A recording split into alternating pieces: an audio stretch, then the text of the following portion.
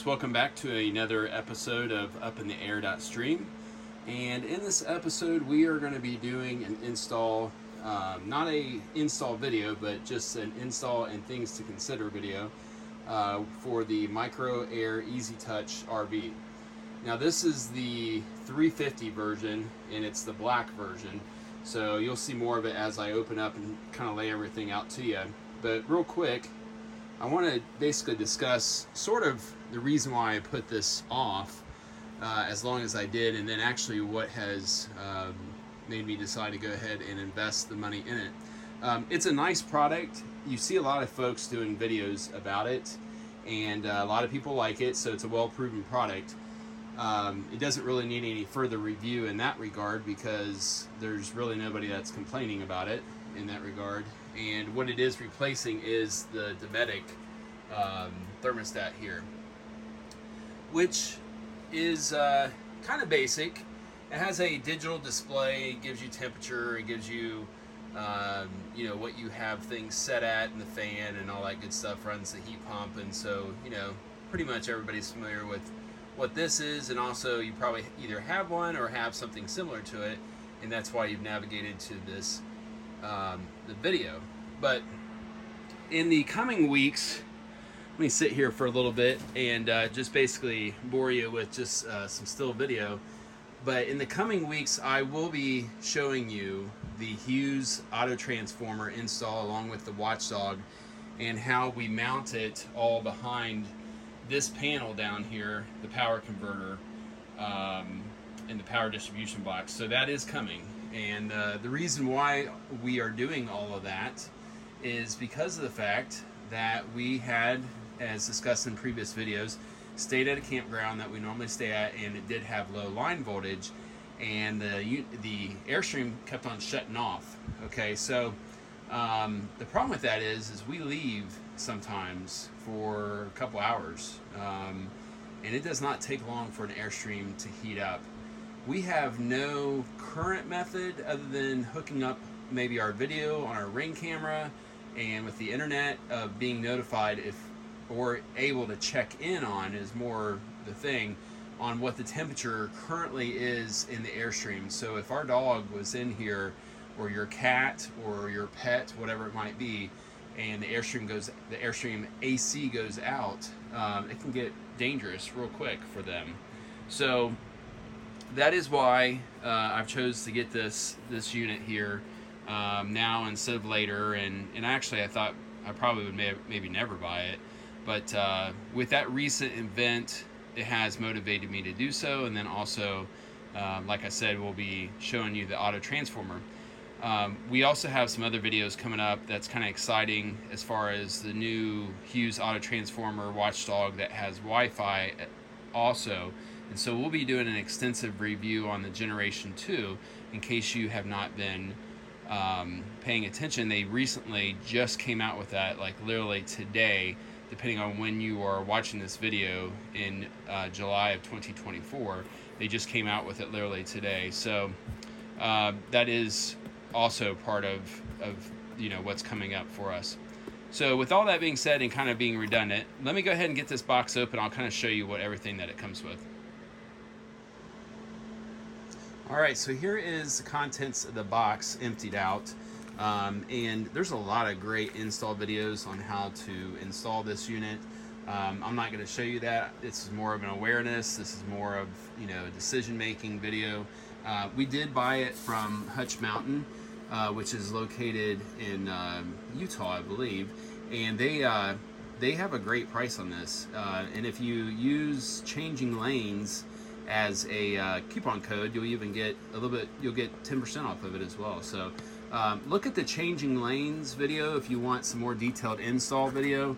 Um, comes with like a little uh, card here that tells you the different icons, the unit itself, which it says it's made in the USA, so that's kind of impressive. Um, this will be a little bit different on the back than maybe yours if you have a different type. Um, they have a really good program uh, that allows you to select exactly which one that you need by selecting which brand of AC unit that you have. And then one thing to keep in mind here as well is um, these screws here are basically to cover up the screw holes that the Dometic um, uh, thermostat there uses, and uh, you won't be needing those holes any longer as this is much narrower. I kind of I'll put it up there just to kind of show you the difference in size.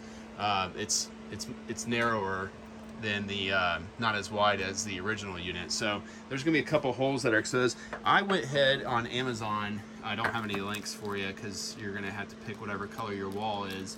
And I bought some brown ones. Um, that is the kind of the disappointing thing about this install kit is uh, it would be nice if they would give you like some some white ones and some, and maybe this color and then also some brown ones and maybe a black set just in case you know whatever it is that you have that you want to install on your wall give you a little bit more versatility. So I went ahead and ordered for five dollars and I recommend that. Um, I'm not going to be using the screws here. Uh, they make they make a really cool little kit though with all that being said and kind of dinging them on their uh, screw cover up selection uh, they make this little kit here that's kind of slick where you can actually drill your additional hole in this this thing uh, you break it away and you'll see that in the install videos um, and it just has some basic instructions in there on how to do that.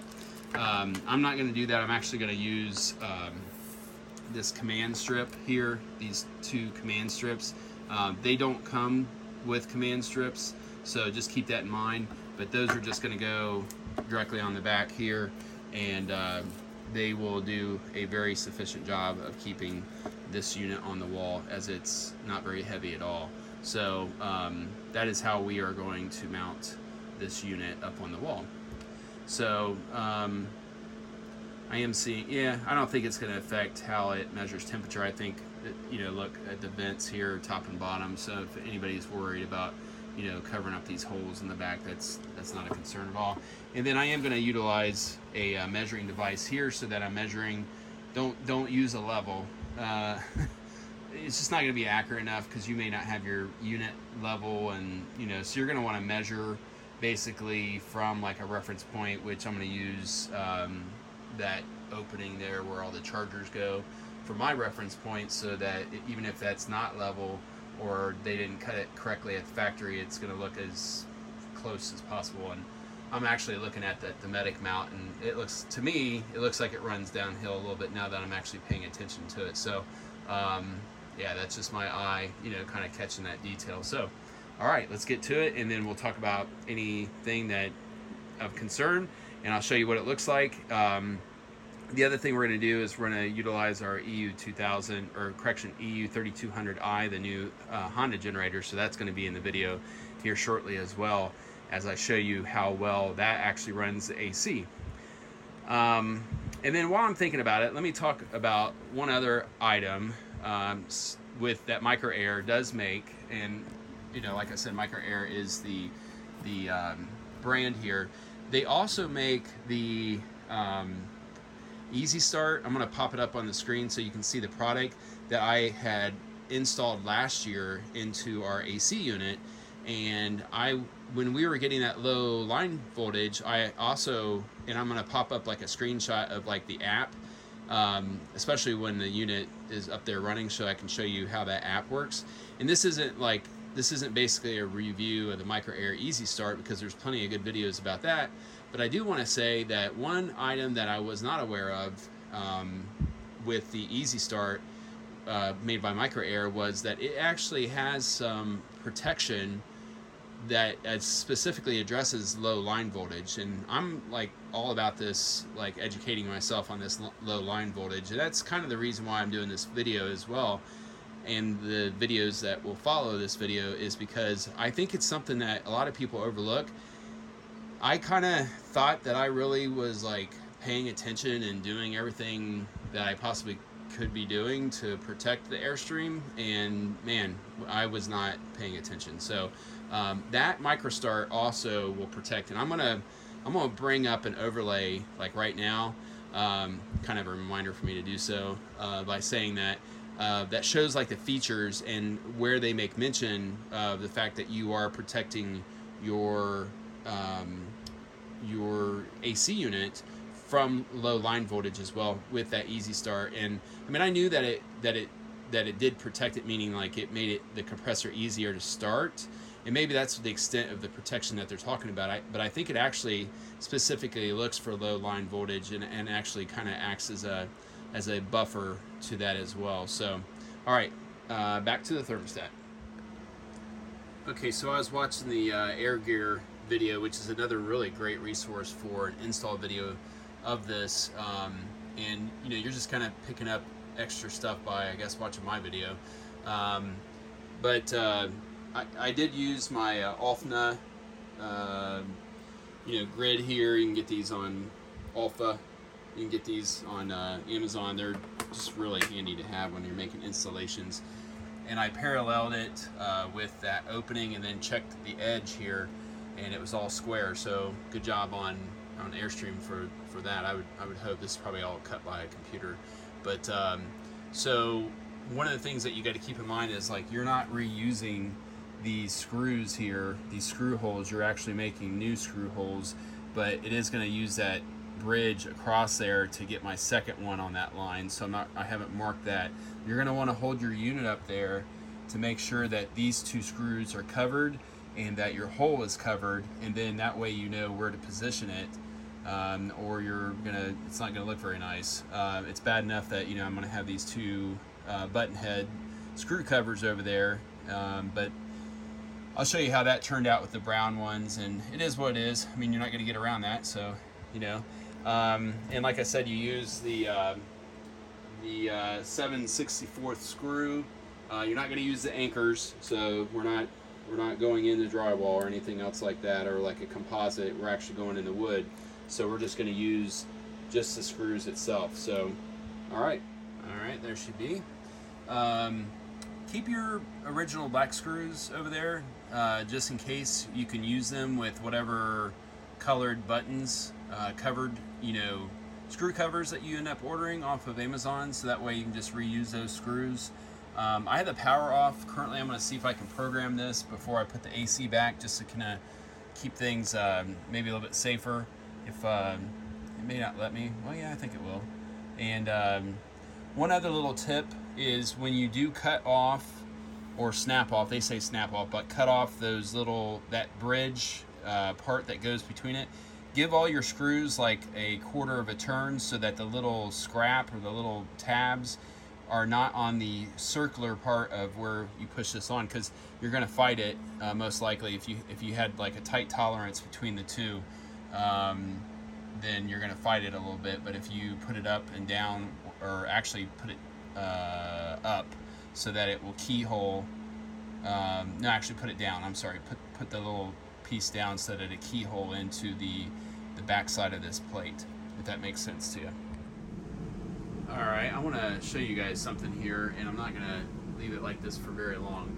Um, so this is the Hughes Auto Formers uh, voltage meter that you can plug into one of your outlets and it's at 107 okay you do not want to run your equipment with less than uh, 114 generally speaking um, so that's that's not good so I'm going to shut this down but it is working fine the thermostat's working fine I'm to get the generator going and uh, we'll see what the line voltage is there it's going to be perfect I'm sure of that uh, even with running it. But uh, our barn is out a little ways from the house, and so that's probably why our voltage is the way it is. It's probably really kind of maxing it out. I've only been running this for like five minutes now, just kind of testing the waters. Um, I'd never had really run the AC out here in the barn, and I wanted to see if it could be done, and the answer is no, it should not be done. And uh, I kind of knew that the electric that I ran out here was limited uh, but I, I didn't know that it was going to be quite that bad. So uh, we're going to go ahead and shut that down. Um, if I would have had the Hughes Autoformer Watchdog plugged in, it would actually shut it off at 104. And uh, this is actually higher than what we had at the campsite that we were at recently. So, uh, but it's still not a good idea to ever run it that low. And like I said, I'm to be much more aware of it. Um, so the last thing I'm going to do is I'm to hook up the micro air to our Wi-Fi device and our Wi-Fi device battery was kind of dead so I'm just waiting for it to charge up as well. Uh, so let me get the EU 2000, or I keep on wanting to say EU 2000 because I used to own an EU 2000, the new EU 3200i and like and get it up running and if you've never seen it I actually did a video about it but Um, I've never actually ran it with this Airstream ever. We've never had to, so I've uh, just done the maintenance and ran it occasionally. So it's going to get a little exercise today, which is a good thing. All right, I wanted to share with you something real quick. Um, man, I am impressed with this thing. Like, the app is is really nice and it's very responsive uh, via Bluetooth. I'm not quite sure. You know, obviously there's gonna be a delay with Wi-Fi depending on your signal and whatnot. But as far as like actually sitting in the rig and then using um, the Bluetooth function on the app, it is working extremely good. Now, what I did was um, before I get this EU 3200i, the Honda generator set up, I put it on fan only and I put it on fan high only. Um, it's real easy to do that. I hit a screenshot of it, so I'll try to make sure and include that. But as you can see, my line voltage has come back up to 118, which is fully acceptable. Like I said, 114 and above is uh, 114 should be your your minimum goal uh, always. Um, and like I said, protection kicks in at anything less than 104 on the Watchdog. Um, so yeah, so I can live with that. I can I can run the AC fan only, and uh, that is the beauty of having this uh, little unit here. It's so so helpful just to have a quick glance. You know, you come in your unit, you take a peek there, and you just know that you're in good shape still as far as what your your uh, airstream is running off of. All right, I'm going to speak up a little bit so you can hear me over the, the generator. Um, so the EU 3200i is Honda's latest version of a inverter generator, and it's fuel injected. Has Wi-Fi, uh, actually Bluetooth connectivity, like a lot of the modern generators have these days. And uh, gonna go ahead and walk away a little bit. It is not as quiet as like the EU 2000s, or even I had a an EU 3000, and that thing would just purr. Uh, so I kind of forget sometimes, you know, that it is a little bit louder. But as you can see, though, it is a suitcase style generator, and it is not that heavy for me to manhandle it, and it's well balanced, and it's it's really it's really nice. Um, so I've been super impressed with it.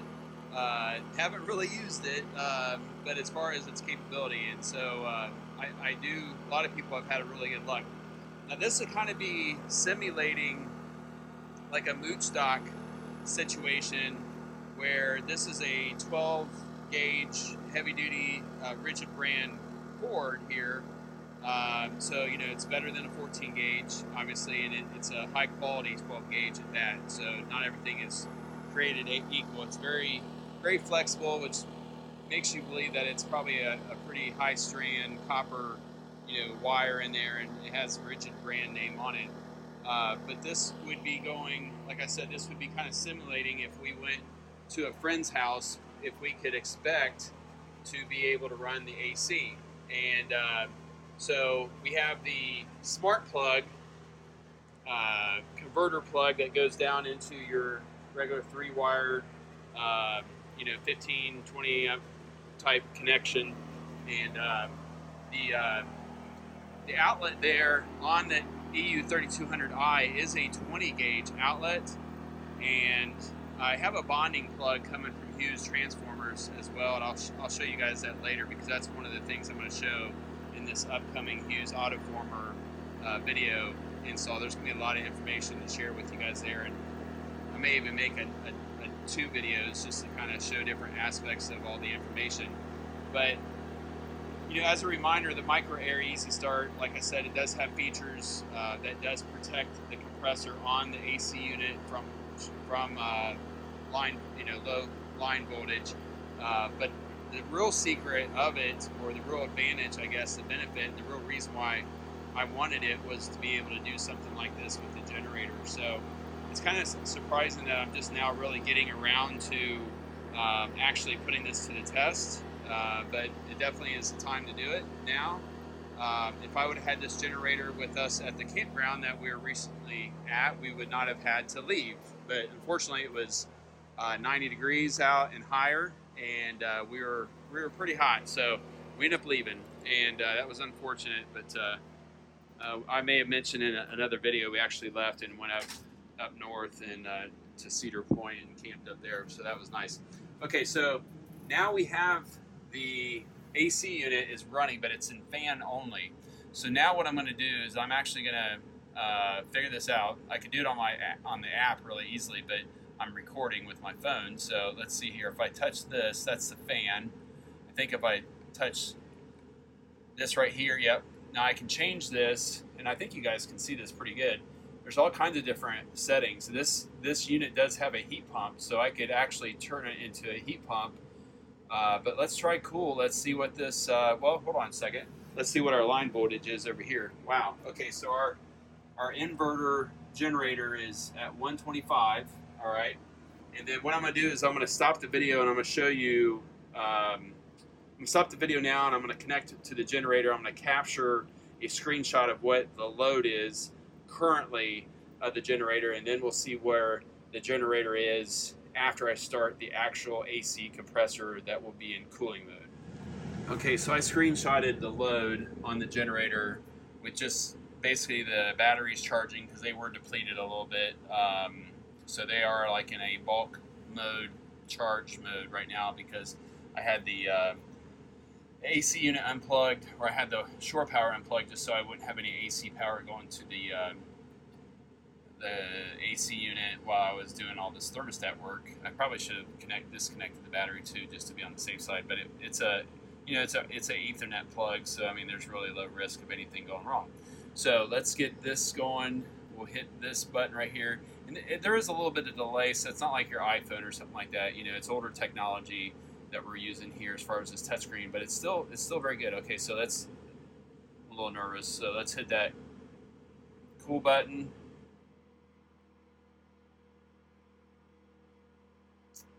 And let's hit fan to auto. No, let's hit it to let's go ahead and give it all manual high. It's, there it goes. Okay, now it's so now it is I heard the compressor kick. So now it is uh, running the AC unit in cool mode. Let's see what our line voltage went down to.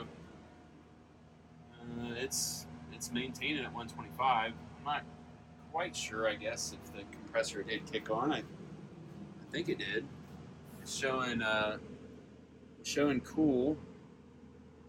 Oh, I think it, it might have just kicked in right then. I heard the generator make a different noise. So, all right, I'm gonna stop the video and I'm gonna give you a screenshot of the um, of the generator running. We can go out here and maybe you'll hear a different sound as far as the generator, how it's running. It does seem to be tasked more. So, I bet you anything, if when I give you this screenshot, you're gonna see that the uh, demand is up higher and also the RPM is up higher.